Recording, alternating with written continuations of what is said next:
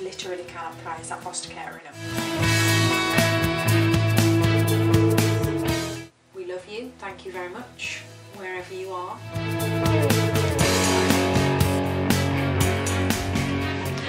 So we're ready to go. We are dressed, ready. We have been down for breakfast. I've got my World Adoption Day symbol on my hand. Are you gonna have one? No? No. And I'm going to leave it on, I think. I've done my Instagram post already, but I think I'm going to leave it on in case anybody asks me about it in the hotel or while we're out and about. And the hotel was absolutely beautiful, but what I really want to show you is what's outside our window.